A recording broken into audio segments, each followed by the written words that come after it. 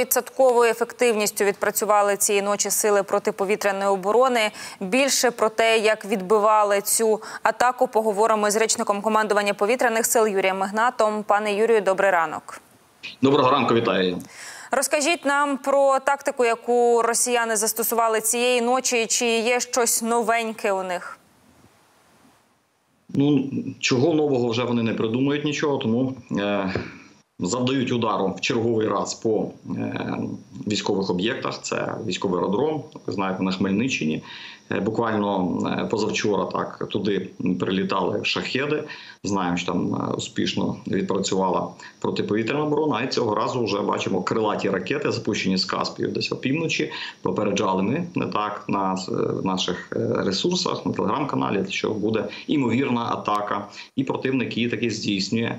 Ну як бачите, робить усе для того, щоби долітали такі ракети до своїх цілей, тобто мають вони маршрути, мають обхідні шляхи для того, щоб якомога більше ракет долетіли до своїх потенційних е, цілей. Е, цього разу власне Хмельниччина відпрацювали 13 ракет знищено протиповітряну оборону. і Також знищено розвідувальний дрон, який очевидно проводив повітряну розвідку результатів удару. Це були ракети Х-101 та Х-555. Х-101 росіяни ж особливо цією ракетою так хизуються, що це абсолютно їхня розробка, тільки з їхніх е, комплектуючих. Розкажіть більше про цю ракету, тому що останнім часом саме її застосовують для того, аби бити по Україні. Наскільки наші е, сили оборони вправно з ними справляються? Х-101 – це крилата ракета повітряного базування, бойова частина понад 400 кілограмів. Ракета заявлена її дальність ураження 5500 кілометрів. Ну е, одразу хочу сказати, що багато фахівців ну, твердять, що це е, надто завищена цифра щодо дальності польоту, але все одно ми розуміємо, що тисячі кілометрів там як мінімум є, тому що ракета летить доволі таки далеко. Якщо запускають їх з Каспію, не досягають і західних кордонів, і, і так далі. Тому е, Ця ракета е, є найновішою, однією з найновіших поряд із такими ракетами, як е, кінжал, так в російській е, армії. І на жаль, ці ракети продовжують сьогодні виготовляти. Виробництво працює. Скільки не говори ну про санкції, а говоримо ми про них ну більше року, мабуть, відтоді як війна почалася, у кожному іноземному якомусь е, виступі нашого представника повітряних сил так далі. Ми завжди наголошували, що санкції ще раз санкції потрібно душити Росію е, як економічно, так і санкціями стосовно отримання нею товарів подвійного призначення військового е, для використовує їх для створення знарядь. Убивств саме тому потрібно позбавляти світ Росію усім світом власне отримання цих е, технологій.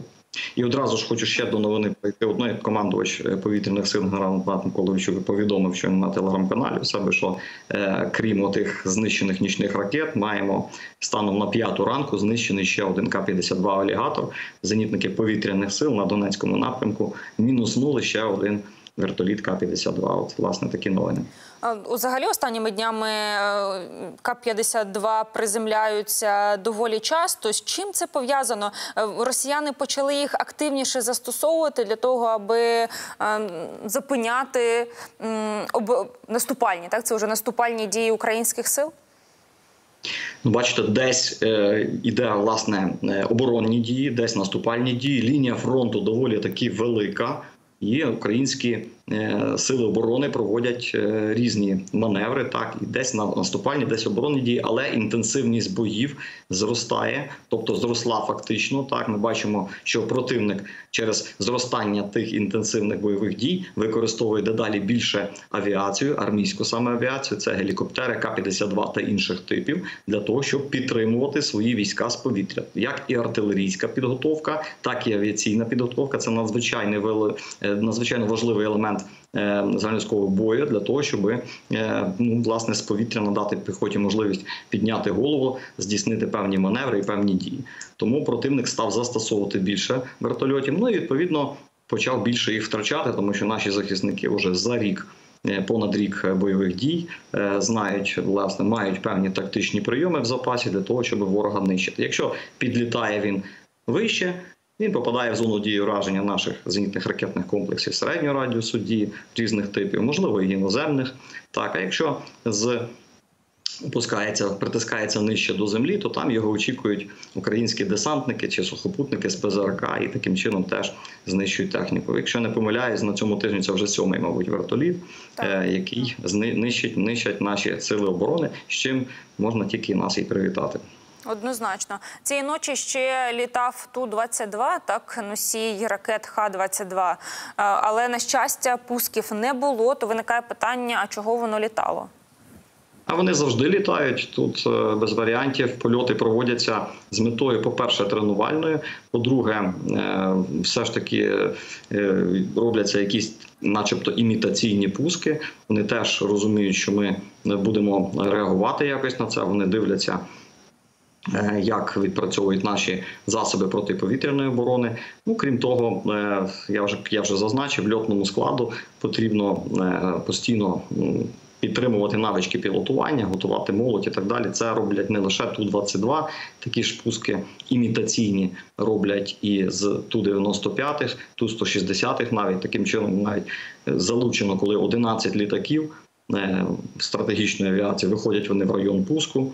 Е, І випускають з 11 літаків там 7, може й менше навіть ракет. Ну з кожного навіть не випускається. Для того робиться, щоб, мабуть, тренувати льотний склад і підтримувати навички пілотування. Зрозуміла. Дякую вам, пане Юрію, за цю інформацію, яка, до речі, в оперативному режимі, коли є повітряна загроза, з'являється на телеграм-каналі повітряних сил. Це офіційне джерело інформації, якому варто довіряти. З нами був Юрій Гнат, речник командування повітряних сил. І